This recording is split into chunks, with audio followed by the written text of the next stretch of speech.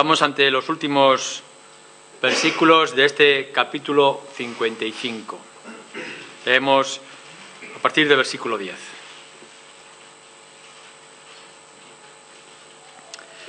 Porque como desciende de los cielos la lluvia y la nieve y no vuelve allá, sino que riega la tierra y la hace germinar y producir y da semilla al que siembra y pan al que come, así será mi palabra que sale de mi boca, no volverá a mí vacía, sino que hará lo que yo quiero y será prosperada en aquello para que la envié.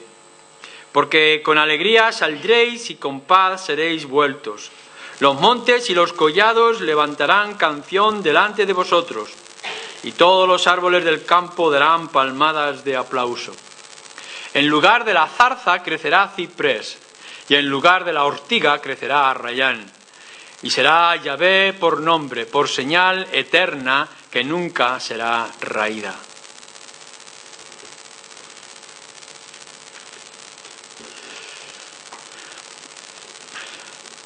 Tengo, tengo en casa mm, unos CDs que es em, de música relajante. Em, porque de vez en cuando necesito relajarme también. Y la música es una imitación, yo no sé si es real o es imitación con instrumentos, de la lluvia. Entonces empieza con las primeras gotas de, lluvia que van aumentando hasta que eh, a lo largo de la grabación se convierte en una, en una lluvia tropical. Y se escucha la lluvia de caer y de recar y de las hojas del, bosque o de la selva o algo. Eh, cuando llega a esa, a, esa parte ya del CD, pues se supone que uno ya está plenamente relajado con la música. La verdad es que em, el hecho mismo de, nosotros estar en un lugar cómodo y seguro de nuestro hogar, de nuestro sofá preferido y tener em, en todo medio oscuras y estar escuchando la tormenta en la calle y la lluvia eh, caer sobre la tierra y el olor de la tierra, pues nos da una especie de, de tranquilidad no tanto si tuviéramos que estar trabajando y picando, ¿no? o recogiendo el fruto bajo la lluvia. Pero la lluvia el agua, el ruido del agua, pues eh, relaja mucho. Es, un, um, un, uso que se hace poético en las escrituras en más de una ocasión de la ilustración de, la lluvia y del agua. Mm, no podemos saber mucho de cuál es el conocimiento que los hombres del pasado pudieran tener de las explicaciones naturales de por qué viene la lluvia y cómo se produce, em, los vientos y las corrientes, etcétera. Pero sí Isaías, o mejor decir quizá Dios hablando a Isaías para que Él nos hable a nosotros, nos trae la ilustración de la lluvia y de la nieve y nos dice algunas cosas que para nosotros pues nos resultan bastante obvias, bastante em, corrientes en nuestro conocimiento. Eh, en primer lugar nos dice pues eso, que, viene del cielo. La gente en el pasado pudiera mirar y ver que la lluvia cae, em, pero que es algo Claro y sencillo también en segundo lugar que la lluvia ya no vuelve a subir, se queda y, y cae sobre la tierra, ya no vuelve, dice. Em, hay una lección para, para los niños clara y sencilla. Pero lo que sí hace es regar y con el riego de ese agua, de, humedecer la tierra, produce el fruto y empezamos a ver germinar las primeras semillas y esas semillas a producir el fruto y eh, todo eso son semillas que producirán más semillas y que multiplicará el fruto y por supuesto dará el pan para el que come. El sembrador tendrá más y el que come estará saciado acabo de dar una lección eh, magistral de la naturaleza, del conocimiento del medio. Y ya tenemos una información básica. La lluvia cae del cielo, riega la tierra y nosotros comemos el pan que produce. Esta verdad tan obvia nos habla de una verdad más extraordinaria y más poderosa porque como desciende de los cielos la lluvia, y entonces, versículo 11, Así será mi palabra que sale de mi boca, no volverá a mí vacía, sino que hará lo que yo quiero y será prosperada en aquello para que la envié. Seguimos teniendo en nuestra mente esta ilustración, esta imagen de la lluvia y ahora teniéndola en mente podemos pasar a lo que nos está diciendo acerca de la palabra. La palabra que sale de la boca de Dios. Claro, la primera pregunta que tú y yo nos tenemos que hacer es ¿a, qué palabra se refiere? ¿Qué palabra es de la que está hablando? ¿Cuál es la palabra de Dios que sale de su boca? Por una parte, puede ser el mensaje preciso de Isaías. Isaías nos está trayendo mm, palabra profética. Hasta ahora nos ha hablado, hemos visto en el 53 acerca del siervo del Señor que había de venir. Eh, nos habla del poder que va a producir y de la extensión de, de su reino en la bendición del pueblo de Israel que nos va a alcanzar a nosotros. Quizá lo podríamos extender a todo el libro de Isaías. Y por tanto Isaías lo que está diciendo es toda la palabra que yo he dicho de parte del Señor, pues es palabra de Dios. Es viene de la boca de Dios. El anuncio profético del siervo que es nuestro Señor Jesucristo, del mensaje profético a Israel y lo que le espera en los próximos años. Claro, si nosotros lo hacemos en esta extensión, quizá deberíamos de extenderlo también cuando dice que la palabra de Dios que viene, la palabra que viene de la boca de Dios, también debería de referirse a toda la escritura y especialmente a aquello que es del Antiguo Testamento. Todo lo que Dios ha dicho, no solamente a través del profeta Isaías, sino a través de todos los demás profetas, y de Moisés mismo. Por tanto, tendríamos que decir que toda la escritura que ha venido de la boca de Dios. Si nosotros lo aplicamos también, como dice Pablo en la carta a Timoteo, pues tendríamos que decir que toda la escritura es inspirada de Dios y viene de la boca de Dios. Y por tanto incluiríamos también el mensaje del Nuevo Testamento. Es por extensión. La boca de Dios habla y su palabra viene, ya sea el mensaje de Isaías, en particular este, todo su libro, el Antiguo Testamento, o toda la escritura tal como lo tenemos nosotros. O pudiéramos decir que es la palabra de Dios que viene también hoy cuando alcanza a cada uno con el mensaje del Evangelio. No tanto aquí, no está hablando aquí, no se refiere este versículo a la proclamación del Evangelio, evangelismo, que algunas veces nosotros lo hemos utilizado. Hemos dicho salir y predicar porque la palabra de Dios no vuelve vacía. Bien, el que tú vayas y lleves la palabra de Dios no hace que sea la voluntad de Dios la que tú esperas, porque cuántas veces hemos fracasado. Hemos ido con el mensaje y no se ha recibido y no se ha aceptado, por tanto parece que vuelve vacía. Pero sí, quizá lo tendríamos que aplicar a el llamamiento eficaz, es decir, cómo Dios utiliza tu mensaje, tu testimonio, la predicación de la palabra para salvar a aquellos que el Señor tiene preparado. Por tanto, la palabra del Señor es eficaz 100% en estas circunstancias. Bien, en esta tarde, por tanto, tú puedes ver en estos versículos que la palabra de Dios como la lluvia que cae del cielo puede referirse a una parte del Antiguo Testamento, a todo el Antiguo Testamento, a toda la escritura tal como lo tienes o al mensaje proclamado a través de la evangelización o de la obra misionera.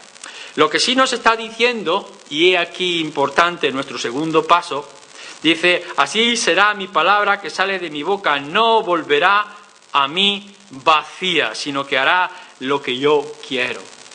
Lo que nos está diciendo el profeta Isaías, y es una verdad fundamental para ti y para mí, es que la palabra de Dios no fracasa. La palabra de Dios es 100% fructífera, 100% de los resultados. Em, tenemos, como nos pone también la parábola de las semillas, que nosotros vamos a sembrar y repartimos la semilla y alguna cae entre las piedras, otra cae en nuestros zarzales, otra cae en el camino y se pierde por unas razones y otras. Solamente en aquella que cae en buena tierra, en corazones preparados por el Espíritu, traerá fruto. Isaías aquí nos dice que la palabra de Dios pronunciada por su boca, la que viene de su boca, no va a quedar vacía y que va a conseguir el 100% de aquello para lo cual ha sido enviado. El resultado y el poder de la palabra del Señor no depende en ninguna manera del instrumento que lo está llevando, no depende del mensajero. Podríamos decir, bueno, si tú eres fiel en tu obra evangelística o misionera, en tu testimonio, entonces hará fruto. Si no eres fiel, por entonces no hará fruto. Esto es un engaño. Esto no es así. En todo momento, en toda circunstancia, sin depender del instrumento, del mensajero, la palabra de Dios tendrá un resultado 100%. No depende de las circunstancias. No está diciendo, bueno, si las circunstancias son favorables, es decir, ahora mi mente está tranquila y sosegada y puedo recibir el mensaje, otras veces estoy lleno de preocupación o pensando en la telenovela y me impide recibir el mensaje y por tanto la palabra de Dios queda vacía. O hay oposición o hay persecución a nuestro alrededor y por tanto la palabra de Dios no llega. No os engañéis, no depende de las circunstancias. Ni siquiera la palabra fructífera de la que nos está hablando aquí depende del mensaje mismo. Que pudiéramos decir, bueno, si es el mensaje del Señor, si es un mensaje de victoria, si es un mensaje de salvación y de perdón, pues entonces puede ser que tenga el resultado. No depende del mensaje en sí.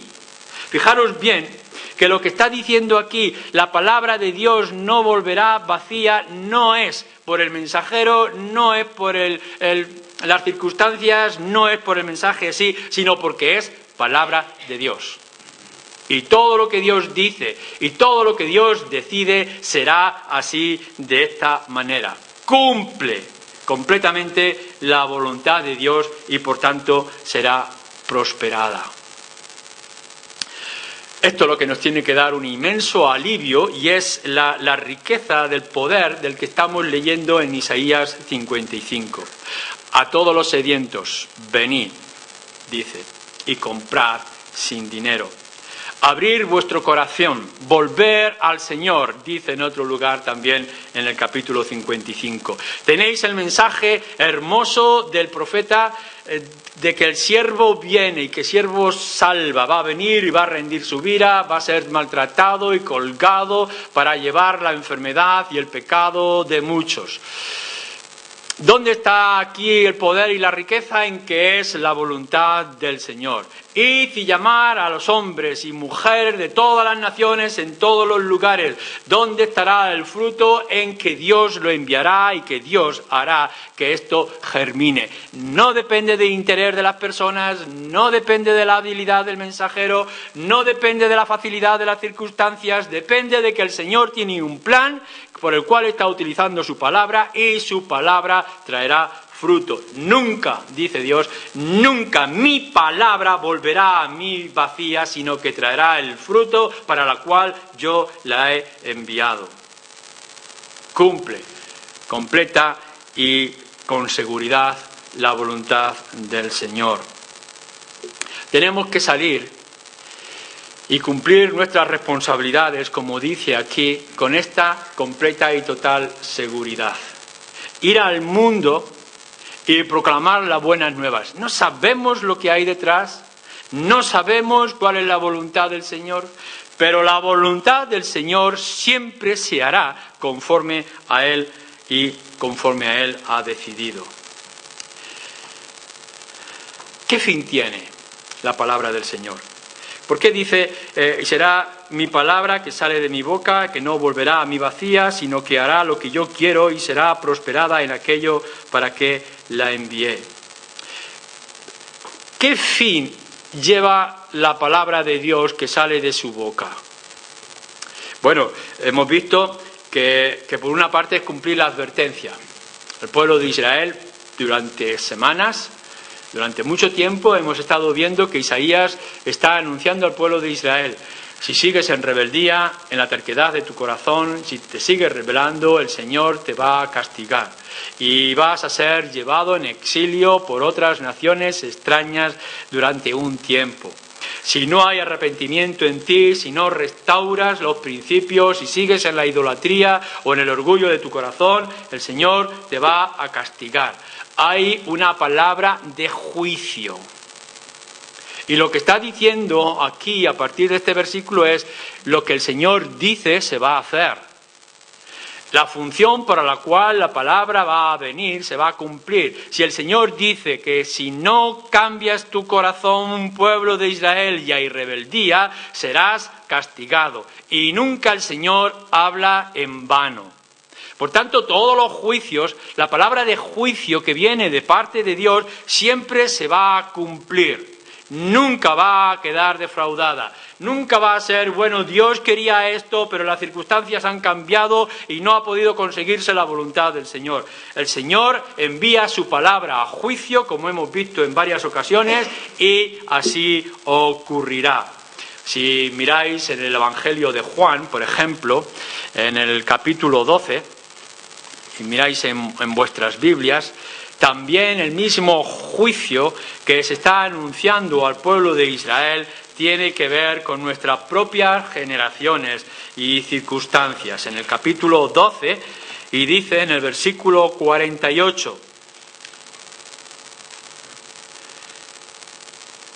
El que me rechaza y no recibe mis palabras, tiene quien le juzgue. La palabra que yo he hablado, ella le juzgará en el día postrero. No hay fracaso en la palabra de Dios, la palabra de Dios que Él ha pronunciado no volverá vacía. La palabra de juicio para el pueblo de Israel y palabra de juicio para nuestra generación y posiblemente para ti si todavía estás en la terquedad de tu corazón es esta.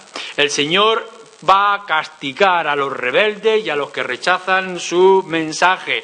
Hay un mensaje de advertencia, hay un mensaje de juicio y el juicio llegará. No va a quedar en fracaso. Pero a la misma vez esta palabra que va a ser victoriosa no solamente en los casos de juicio, sino en los casos de salvación en los casos de esperanza en Isaías 65, que nos va a decir algo parecido como lo tenemos aquí, nos lo está diciendo a nosotros. Venid a mí, dice, venid, volveos a mí, apartaos de vuestros pecados y yo os voy a perdonar. He aquí hay salvación y hay misericordia. Todo aquel que se arrepienta podrá ver mi gracia aceptar a mi siervo, aceptar al que yo envío para salvación de los pecadores y podréis tener la vida que buscáis. ¿Por qué vais a morir? ¿Por qué vais a perecer? Venid ahora y beber de las aguas, y todo aquel que beba de las aguas va a saciar su sed de manera definitiva. De la misma manera que hemos dicho que cuando Dios pronuncia un juicio, el juicio llega, que cuando el Señor advierte, advierte en serio y nunca fracasa, sus palabras de esperanza y de consuelo nunca van a fracasar. Por tanto, está diciendo que todos y cada uno de vosotros que pueda aceptar la salvación que se ofrece a la luz de las Escrituras, va a encontrar esa salvación que se le está ofreciendo. Todo aquel que busca haya tener la certeza, tener la seguridad. ¿Y cómo es posible que todo aquel que busca haya, que todo aquel enfermo que quiera sanación de parte del sanador, que es el siervo de Dios, va a ser sanado? Porque el que lo dice es Dios. Y la palabra de Dios no fracasa. Yo pudiera hacer grandes promesas y pueda decir, pues mirar, hay una gran riqueza en vosotros, hay una gran posibilidad en vuestros deseos y anhelos y por tanto si tenéis la buena actitud podréis encontrar lo que buscáis y fracasaréis porque yo no tengo la certeza, yo no tengo la seguridad, puedo prometer cosas que no se van a cumplir porque soy hombre. Pero cuando Dios lo dice y es un Dios justo y es un Dios misericordioso y está diciendo, probadme, venid a mí, tomad de mí y no vais a sentir defraudados, será 100% los resultados. Mira, por tanto, cuál es tu situación. La palabra del Señor se va a cumplir de manera clara. Si en esta tarde tú tienes resistencia en tu corazón, tienes una voluntad de rebeldía y de terquedad, hay una palabra de Dios que se va a cumplir hasta el final. Si te resistes y rechazas, recibirás el justo juicio del Señor. Y ocurre en el 100% de los casos.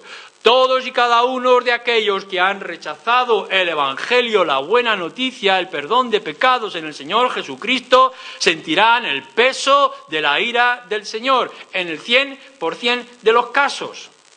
Pero a la misma vez tengo que afirmar, a la luz de las escrituras, de estas palabras y de otras muchas, que si tú te acercas con esperanza y con fe a la obra del siervo, del enviado de Dios, y pones tu confianza en esa obra perfecta en la cruz, tendrás la certeza de que, de que serás salvo. Y eso ocurrirá en el 100% de los casos. No hay ni siquiera uno que podamos encontrar que no haya puesto su fe en el Señor Jesucristo, que no haya encontrado salvación y vida eterna. ¿Por qué? ¿Por la habilidad del mensajero? No. ¿Por la facilidad de las circunstancias? No. ¿Por la hermosura del mensaje? No.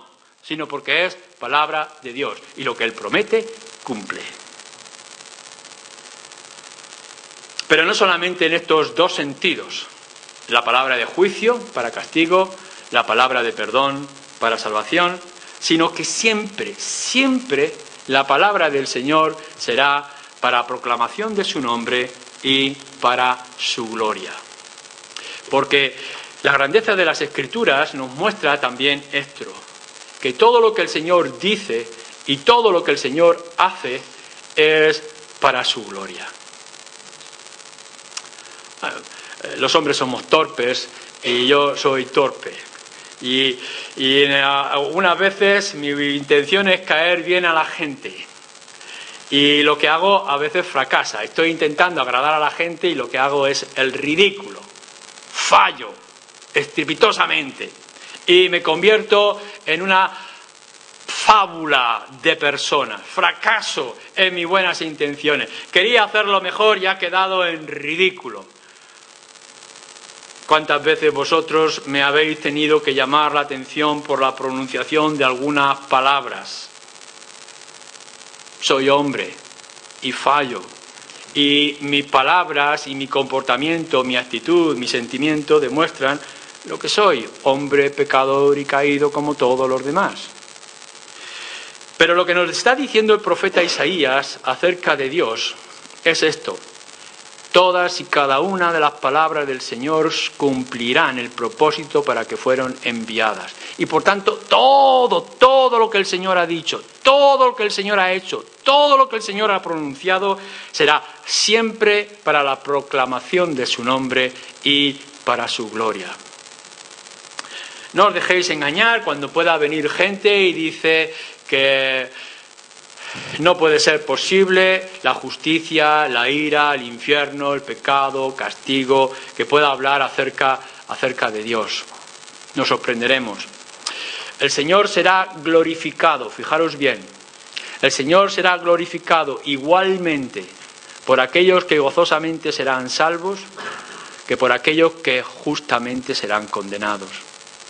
Y pasaremos toda la eternidad, algunos de nosotros, dándole gloria a Él en nuestra salvación por medio del siervo, o dándole gloria a Dios por nuestra condenación por causa de nuestros pecados. Tu destino es este, sea cual sea, lo que tenga Dios preparado, el destino tuyo es este, darle gloria a Dios, pagando por tus pecados, o dándole gloria a Dios por el perdón de tus pecados. Pero siempre la palabra de Dios será prosperada, nunca volverá vacía. ¿Qué es lo que nos está diciendo a nosotros como iglesia? Dice, porque con alegría saldréis y con paz seréis vueltos. Los montes y los quillados levantarán canción delante de vosotros y todos los árboles del campo darán palmadas de aplauso. La realidad, podemos pensar, es que cuántas veces hemos hablado y llevado el Evangelio y la gente no nos ha respondido. De cada mil veces que hemos hablado, mil o más veces que hemos hablado del Evangelio, solamente unas pocas ha tenido el resultado que estábamos buscando o esperando. Y nos puede parecer que es un fracaso. Vamos con el deseo, ahora tenemos este libro acerca de la evangelización y vamos a evangelizar y llevar la buena nueva, levantamos nuestro estandarte, ponemos nuestro anuncio, el camino de salvación, en nombre del Señor Jesucristo y la gente lo rechaza. Pero lo que nos está diciendo el profeta Isaías es, no te desanimes, sal con gozo, porque tú no sabes cuál es el fin de la palabra. El mensaje que estás llevando no sabes si es un mensaje de salvación, es un mensaje de juicio. Pero cada vez que traigas la palabra de Dios, cada vez que pronuncias el mensaje del Evangelio, sea a uno por juicio o a otro para salvación, siempre tendrá fruto. Y lo que te tienes que gozar, hermano, y lo que se tiene que gozar la Iglesia, no es en sí, en primer lugar, por la salvación de pecadores, que por supuesto nos gozamos, sino porque el nombre del Señor es glorificado cada vez que llevamos el mensaje del Evangelio. Lo que buscamos en primer lugar en el evangelismo, oyendo a todos los lugares, saliendo a proclamar las buenas nuevas, no es tanto que los hombres se conviertan, sino que el nombre del Señor sea ensalzado y sea glorificado. Buscamos, debes de buscar, con toda tu actividad, tengas adversidad o tengas facilidad para hacerlo, la gloria del Señor. Por supuesto que tenemos que ser fieles, que tenemos que ser tremendamente fieles a la palabra del Señor.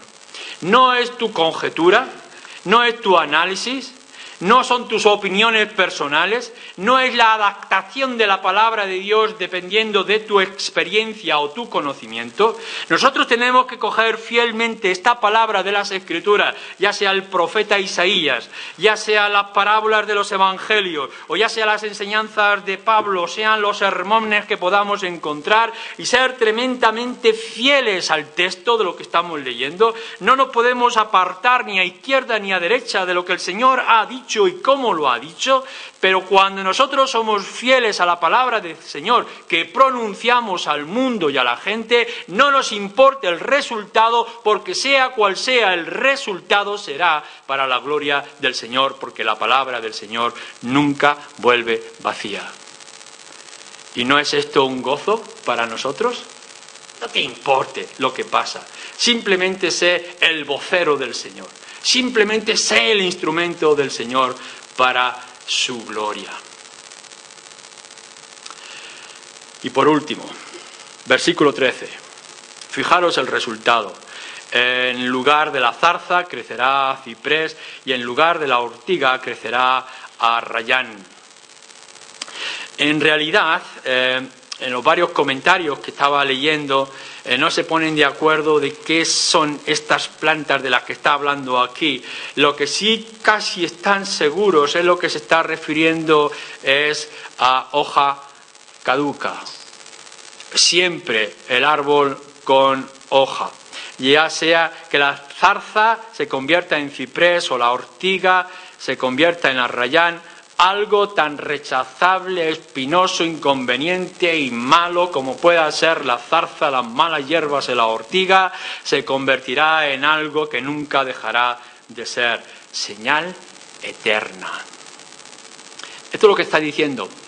Igual que la lluvia viene y siempre riega, ya no vuelve otra vez a subir, sino que va a venir y va a producir lo que el Señor la ha enviado desde el cielo, así será mi palabra. La palabra de Dios que sale de su boca siempre tendrá un resultado para la gloria del Señor, sea de juicio o sea de salvación, y por tanto será una señal eterna.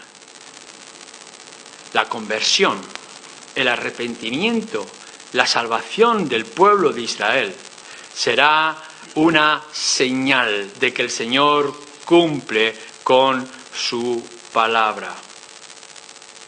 Probadme, dice, arrepentíos. Si dejáis vuestros caminos podréis ver que yo tengo poder para cambiar y para mostrar misericordia. La salvación del Señor siempre se ofrece. Fijaros en el versículo 7. Deje el impío su camino y el hombre inicuo sus pensamientos y vuélvase al Señor.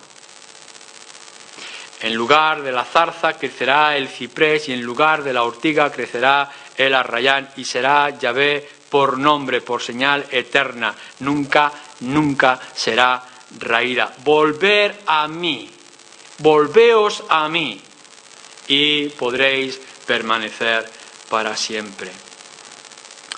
La señal de que el Señor cumple con su palabra es que todos aquellos que hayáis puesto la confianza, vuestra confianza, vuestra fe en la obra y la persona del Señor Jesucristo, el siervo de Isaías 53 y de otros pasajes, es de que siempre estaréis seguros. No vuelve al Señor vacía. Va a hacer fruto y vais a ser ganados. Y nos dice, además, que se producirá la alegría y la paz, el fruto bueno que vendrá sobre vosotros. Una imagen que también viene del capítulo 35 de, de Isaías. Alegría y paz.